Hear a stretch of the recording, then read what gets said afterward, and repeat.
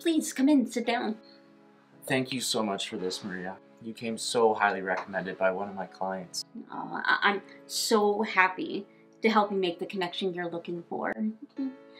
So, um, you mentioned in your email that you're hoping to connect with your mother?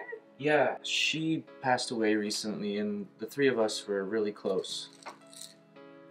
My sister doesn't believe in life after death, so I'm really looking forward to mom proving her wrong.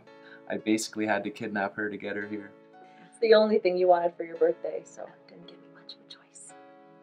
Well, um, what I'd like to do to start is explain a little bit about how I received the information I'm going to share with you tonight. I know it can be a little hard to understand, but I receive word and visual cues from those that are passed over. And it's up to us to interpret those cues. So, to get started, I'm going to take a couple deep breaths and close my eyes and then I'll share with you what I'm receiving, okay? Now, I can't promise that we'll connect with your mother, but we'll see who comes through, okay?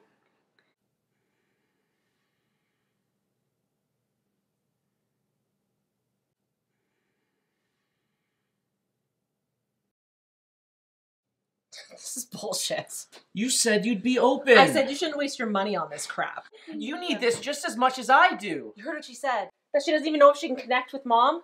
That's her way of covering her ass. Actually, Why can't you just play along and give me something that I want? You don't know what you want. You're stuck in your grief, and this woman is taking advantage of that.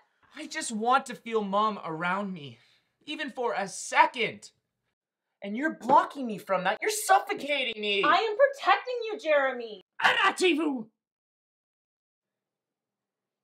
How many times do I have to tell you?